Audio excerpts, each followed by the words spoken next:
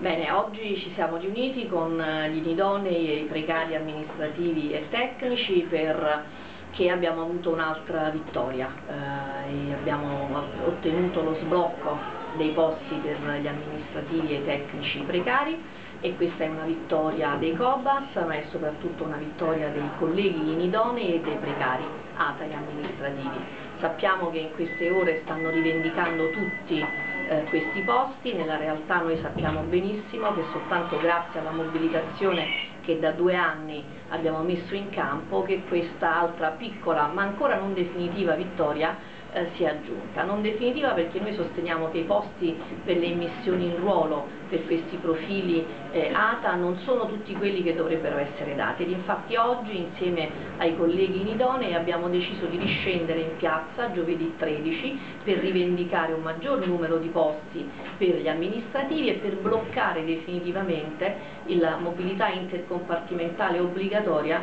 per i docenti in idonei. Non si capisce infatti per quale motivo dopo aver abrogato l'obbligo dettato dalla spending review di Monti del passaggio dei docenti idonei nei profili amministrativi e tecnici ancora si insista a voler penalizzare i docenti inidonei tentando di trasferirli in altri profili